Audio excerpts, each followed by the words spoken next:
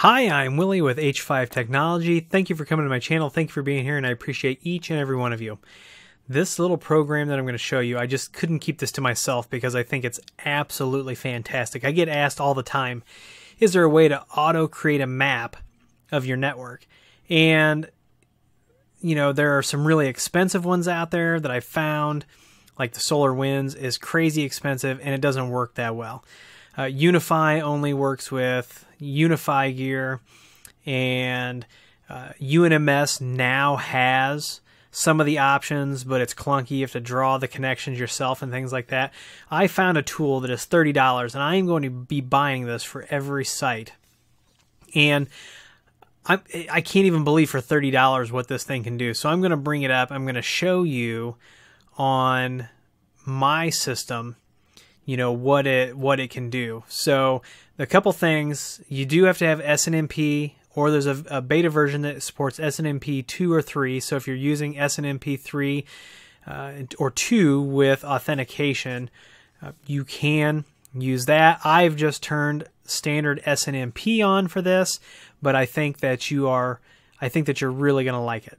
All right, the name of the software is LanTopoLog and it may look rudimentary, but I'm going to tell you that the simplicity of this software is also its its beauty and man, I used this to map some ports and I just I really really fell in love with this software.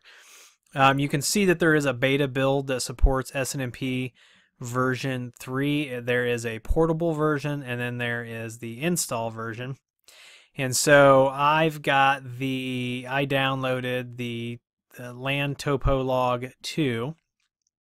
You can also run it as a service if you download the service manager. So we are actually planning on running this as a service in our core and monitoring the network with this. The map can rebuild in real time. You can get alerts. It can email you. I mean, I can't say enough about this program. I'll leave a, a link to this so that you can check this out.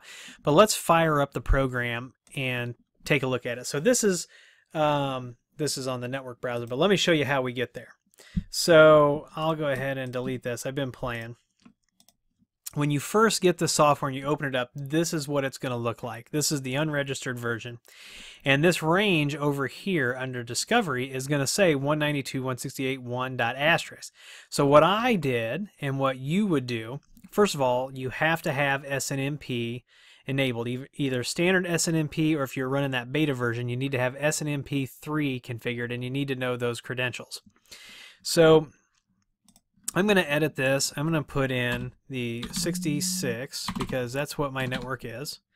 And the SNMP read community string, that's all I need is the read string is public.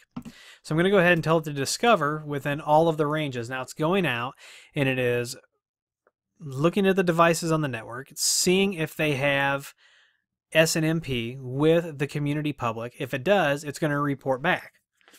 And just so you know, I actually have SNMP turned on on UniFi as well. And so this is going out. We're going to get to another video. I do have the gear running in the garage, so I've I've got the, out in the workshop. So I've got an updated video that needs to be coming out for that. Um, but I had to change things up a little bit. You'll see that video here uh, in the next few days.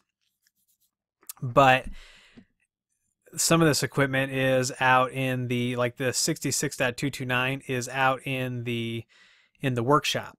So let's take a look at this. So it found I turned SNMP on on all these devices. Excuse me, my nose is itchy tonight.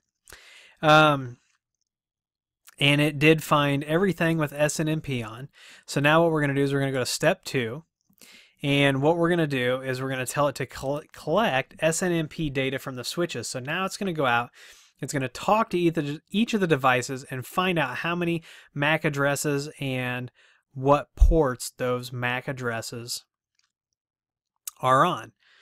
So you can see down at the bottom, ah, excuse me, you can see down at the bottom the progress down here where it is collecting the SNMP data and it says that it's got eight switches and 39 MAC addresses on this particular network.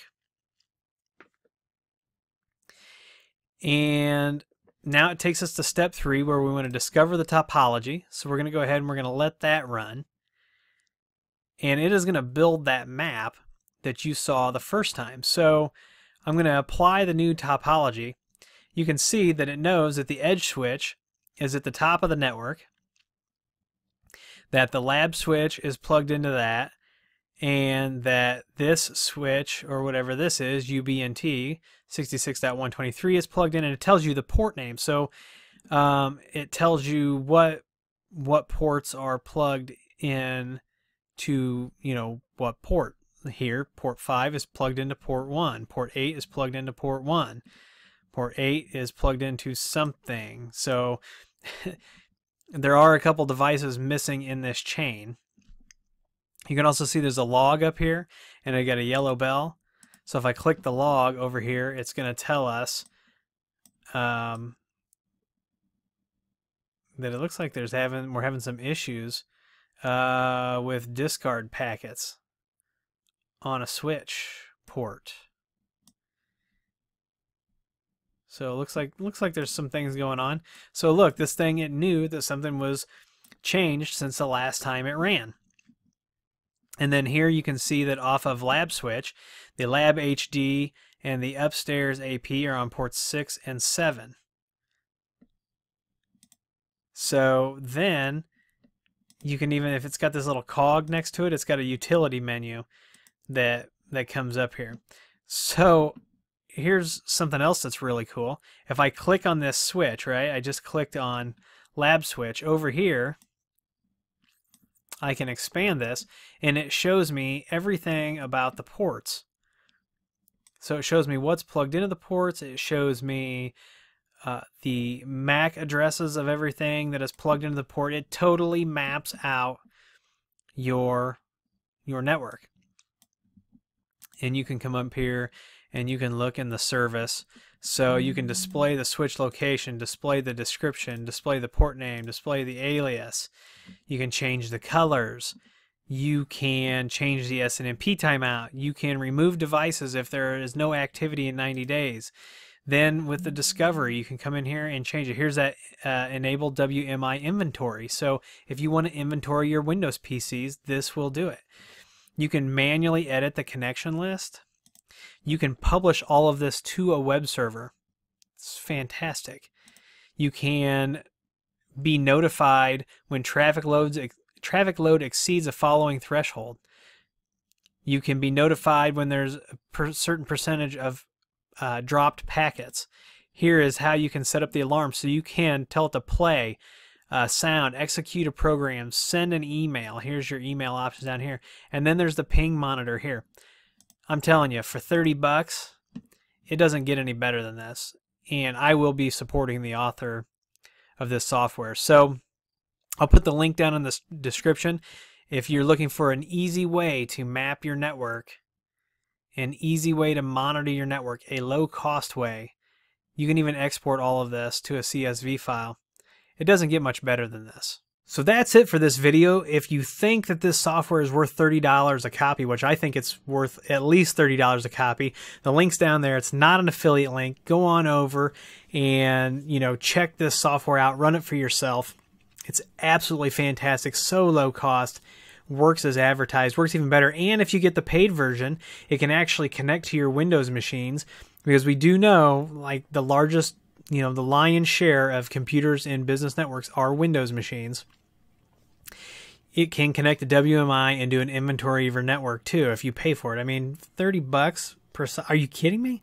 Anyway, if you like this video, please give me a thumbs up. Please subscribe, please comment and share. Please follow me on Twitter and Instagram. If you want to talk to us on Discord, the link's down there. If you need IT consulting of any kind, if we can't help you, we'll get you to somebody who can, but you can go to h5llc.com down there, fill out the contact form and somebody will be with you as soon as possible. If you go over to H5LLC, make sure that you sign up for the newsletter. The newsletter folks are going to get early access to some things, so make sure you're going over there and signing up for that. If you want to purchase any of the gear that you see us use here on the channel, that Amazon link is down below. As always, I appreciate each and every one of you, and I'll see you in the next video.